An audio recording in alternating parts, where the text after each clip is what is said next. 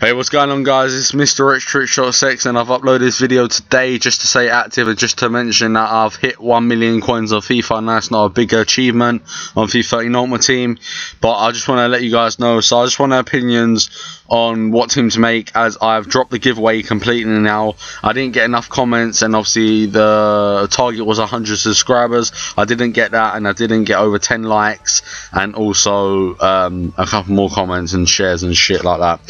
So, just want to tell you guys I've got 1 million coins. I've still got Falcao Benzema to sell. I'll let you guys know with official. This is part one of the uh, 1 million coin challenge. And the second part, well, it's not really a challenge, but it's just a target. And the second part will be how much I get overall after selling 89 striker Falcao and Benzema. Stay tuned for more. I'll be doing career mode videos soon. So I'll see you guys later. Mr. X, and I'm out. Peace.